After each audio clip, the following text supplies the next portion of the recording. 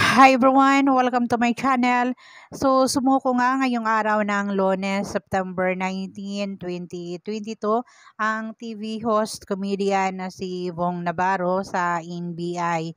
Pagkatapos na maglabas ng warrant of arrest na inisyo ng Tagig Metropolitan Court, ito ay kaugnay sa act of lasciviousness batay sa kasong isinampa ni Denise Cornejo. Ang kasong act of lasciviousness sa iba pang sa kasong rape na isinampa kay Vong Navarro ni Denise Cornejo noong pang 2014. Nang makapanayam si Vong Navarro ng media, kaugnay rito ay mariing na iginiit niya na inosente siya at di niya ginawa ang uh, bagay na ibinibintang sa kanya. Ayon pa kay Vong Navarro, Ever since na nagsimula ito, nagsabi na ako ng katotohanan. Hindi ako nagsinungaling.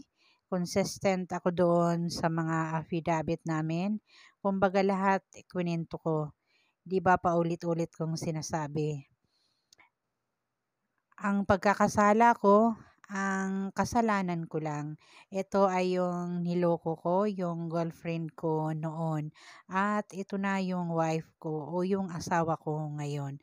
So, para sa karagdagang impormasyon, kaugnay sa uh, kasong nauugnay kay Wong Navarro, narito ang video. Panorin po natin lahat nung nag nangyaring insidente before, anong pakiramdam mo na parang hindi pa rin natutuldukan yung issue at nagpatuloy pa rin pagkatapos ng ilang taon na dito sa ulit maharap sa mga otoridad?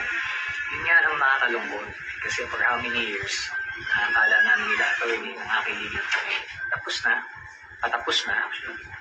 Kaya nagulat kami parang after ilang years parang ito ulit na buhay at parang ako pa yung nababaligtad na ako yung biktima. So parang ang hirap paniwalaan.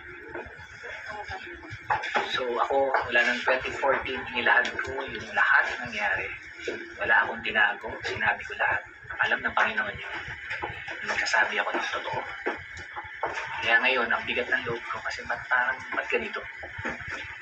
Para mabuhay at the same time ngayon, binabaliktad ko. Diba? Diba? Ang serious legal detention at clean coercion. Noong January 22, siya ay dinetene. He was mobbed, he was beaten up, tied up, demands of money made from him.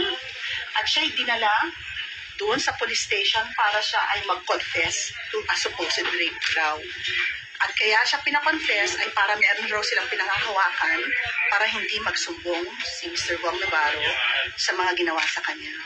Pero nagreklamo siya.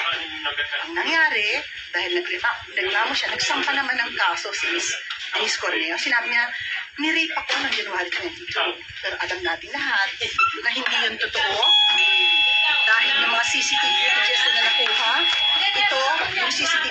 footages na nagpapakita kay Denise Cornejo, wala pang isang minuto mula nang dumating si Mr. Navarro sa kanyang condo. Wala pang isang minuto. Pumunta siya sa elevator at makikita, makikita ngumingiti siya. Sabi ko, she was praying at herself, no? Parang tinitingnan-tingnan niya yung sarili niya doon sa reflection niya sa elevator. Nakangiti, kalmado. Walang pangahalay o acts of lasciviousness na nangyayari noong January